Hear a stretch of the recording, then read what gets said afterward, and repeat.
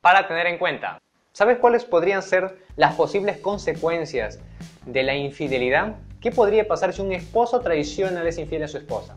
Uno, va a haber más control. La esposa lo más probable es que esté más atenta a las horas de salida, a las horas de llegada, eh, a quienes le, le escriben, le llaman por el celular, etc. Y eso va a deteriorar aún más la relación.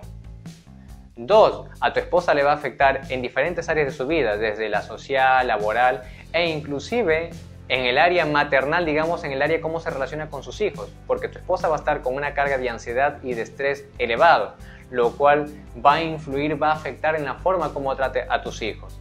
Bien, es muy probable que le trate ya con un poco más un poco más irritada, un poco más de cólera, ya no le va a tener mucha tolerancia, la tolerancia que comúnmente le tiene a tus hijos. Esto les va a llevar a tus hijos a tener diferentes tipos de problemas, desde emocionales, conductuales, hasta académicos.